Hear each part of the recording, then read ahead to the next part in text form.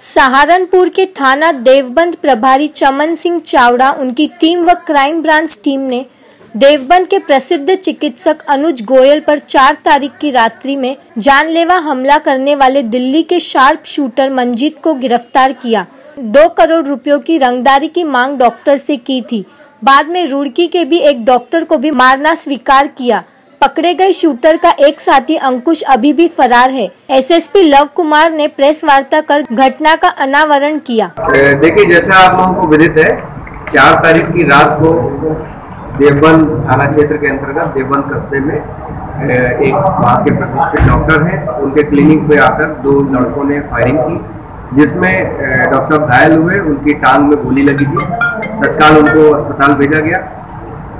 हम लोगों ने इसको एक चुनौती के तौर पर लिया और तुरंत हम लोगों की जो टीम्स थी, वो एक्टिवेट हुई।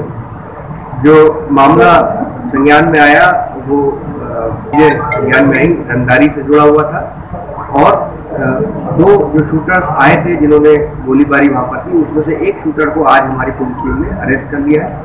इसका नाम मंजीत है, दिल्ली का रहने वाला है।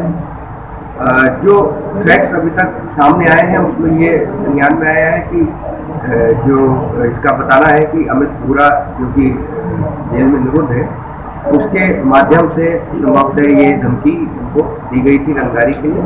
और उसी के चलते उनको भयभीत करने के लिए ये लड़कों को भेज के फायरिंग कराई गई। इसमें नीरज भवाना एक क्रिमिनल है। उसका भी नाम प्रकाश में आ रहा है, जो कि दिल्ली जेल में अभी है। कुल मिला के इस पूरे नेटवर्क पे अभी हम लोग और काम कर रहे हैं।